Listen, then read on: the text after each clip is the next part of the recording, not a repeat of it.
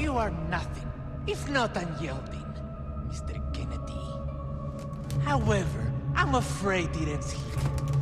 Expel this intruder!